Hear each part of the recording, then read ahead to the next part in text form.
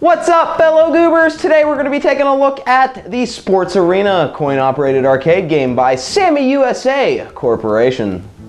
The object of the game, guys, is really, really simple. All you have to do is stop the moving light on a red bulb and win the prize that's in that carousel. Now this game is actually a lot harder than it uh, seems because this is actually like, I like to think of it as the uh, prequel to Stacker and uh, pretty much all of like the more modern games with the higher end prizes that we see today. Uh, this game was, I remember playing this when I was like 9, 10 years old. So this game is like very old, but it still had, you know, the ability to change the different prizes and the prize values and how, the percentage payout and everything. I mean, this thing is insane. So I'm going to actually show you guys the different settings on this machine, what you can change, how they can change the payout percentages and everything.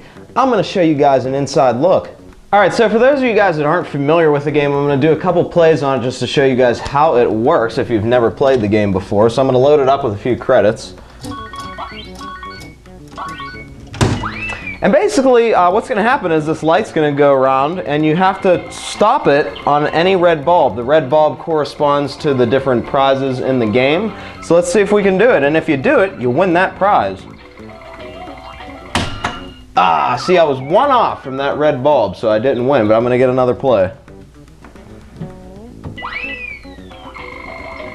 Now this uh, this setting I have on here, the, the uh, bulb goes at different speeds. Most of them have it just at a constant speed. This makes it a little bit more challenging. The speeds go at random. Dang, I suck. I won! Son of a gun, yes!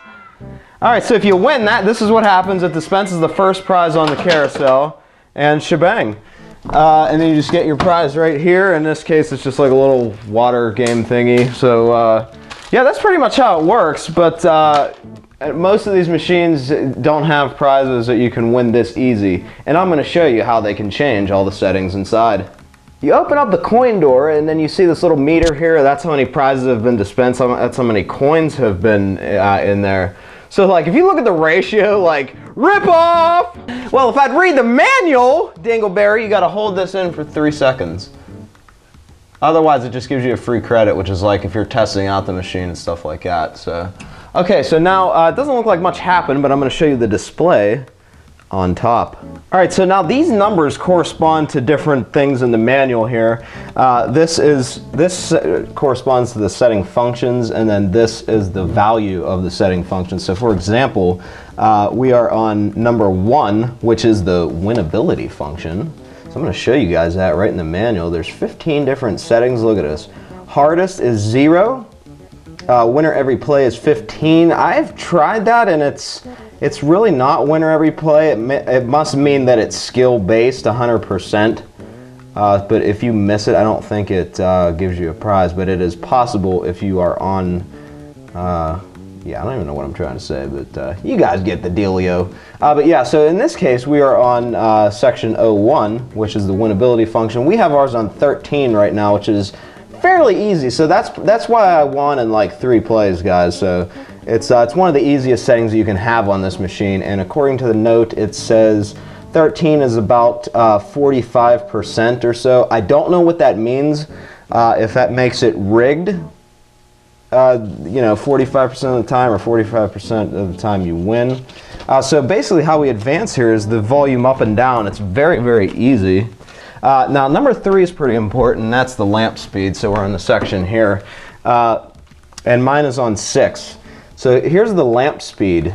And that's the uh, how fast they, the uh, lights go around the game when you insert the coin and you're playing.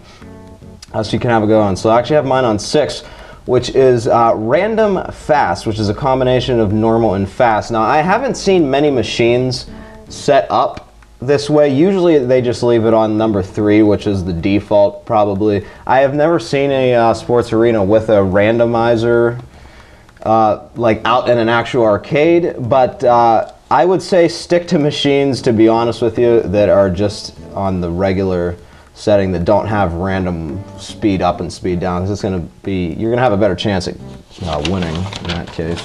There's all kind of other stuff in here, guys, you can change. Direction of the lamps, Uh, replay if the prize vending unit is empty. Will the player get another turn? Just all this stuff. I mean, it's crazy, like free play. Now, uh, here's another important part right here the prize value of each vending unit. This is, like I said, guys, very ahead of its time here, where, you know, you could set the different value of each section in this game. So, for example, I'm just going to tilt up here. So I could have, say I have gift cards on this little rotating carousel thing. I can set the prize value. So see, for example, we have a $10 Giant Eagle gift card. Actually won that in red zone. Yeah, still haven't even used it yet. It's been like six months. Um, but yeah, you can change it all the way up to, uh, look at this guys, the prize value can be anywhere from 25 cents to $20 prizes in here, like the value of the prize. It's pretty crazy. Uh, the default's $1.75. Um, so now I can change each different little thing. So I can have this carousel be all $10 prizes. And then right above me, we got this little plastic keychain. It's not even worth like 10 cents. I can have this carousel, you know, valued at maybe a quarter or 50 cents. So that's that's like so unique in a game that th this old that you can change each individual one.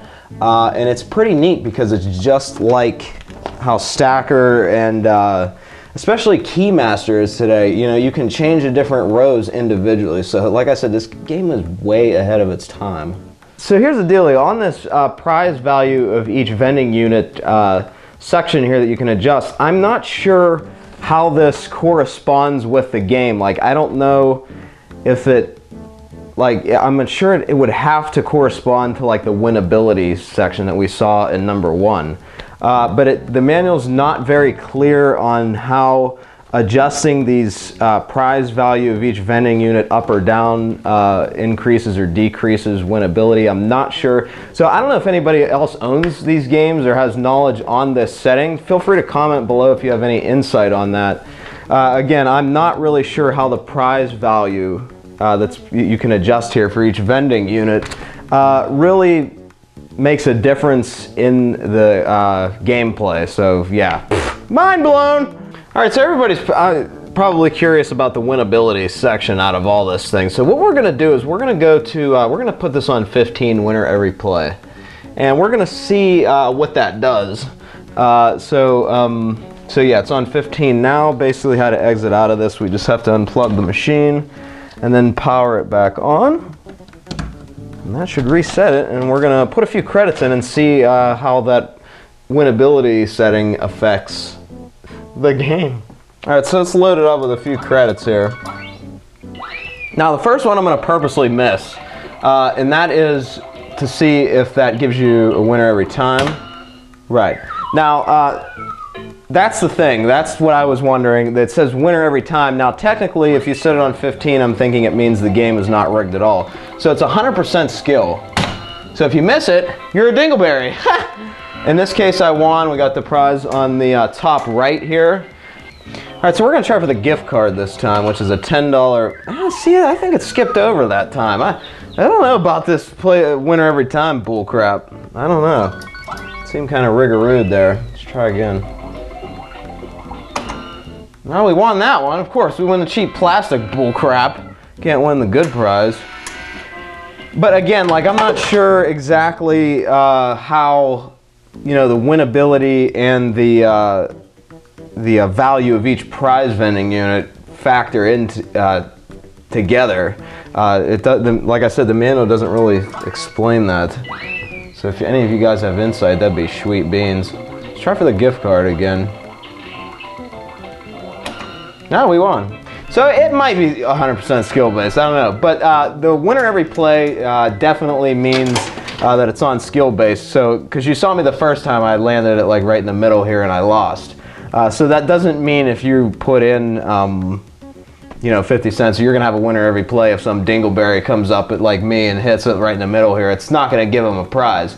They still have to get it on the red thing. So uh, that makes it 100% skill. Let's try for the uh, let's try for the same one here. I know there's nothing left on there. See, it's thing it skipped over again, man. I don't know. I smell bullcrap, and it's not my cat's litter box. Oh, that was my fault that time. Ow! Oh that's crap skipped right over, I'm telling you. All right, guys, so that's it for the uh, Sports Arena arcade game demonstration. Uh, in case you're wondering, I got this off a guy here uh, in my local Pittsburgh area for uh, 225 bucks, which isn't too bad. Uh, but it does need some TLC. I mean, there's like some grime and crap in here, and if you wanted to put it on location, you'd probably have to clean it up. Uh, it does need a coin mech and locks, again, if you wanted to put it on location. But in this case, it's just for home use, so I don't really need all the locks and stuff. But the game does function 100% as it should. All the are in excellent shape. But I'm probably going to be getting rid of this game very soon because it's simply taking up too much space in my living, dining room, whatever room this is. Every room is literally probably a game room in my house, so I'm just going to call this the game room, even though it's the dining room. What? Alright guys, I'm going to do a couple more plays on Sports Arena. Thanks for watching. Press that like button. Subscribe for Claw Machine and arcade game videos every single week. Come on, baby. Going for the flashlight. Oh, man, I want this. Look how cool that is, guys. It's like a LED little... That's probably hard to see, but... Come on, baby. Oh, see that? that That's rigged, man. I don't know. Win a 100% winnability my arse. Try so you guys can see here. Oh, wow, that was... Jeez. Couldn't have been more off.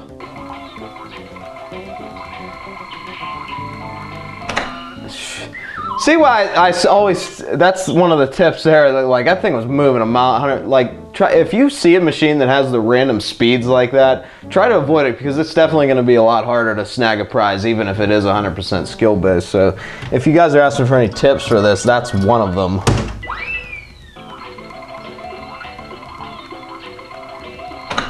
See how it sped up real quick? So it's like really hard to determine like when. when? When do I stop you? Oh, come on! Going this way now. Oh, you doober. It's probably the dumbest prize in here, but I'm trying to get it. And I find the corners to be di more difficult too. I actually like going for prizes that are this one, this one, like the, the ones that are in the middle here. So these four bulbs are a lot easier. The corner seems to be tougher just because it makes that edge. You have, you're able to time it better if the bulb's going in a straight line. Now, that's just my opinion, I don't know. So that might be like another little tipperoo just to add on this. God! Freaking problem, man. You wanna go? Oh my God! Why can't I win? Oh, that is bull! Look! Friggin' crap. Look, and now I win the flashlight. That don't make any sense. Wasn't even near the dang thing.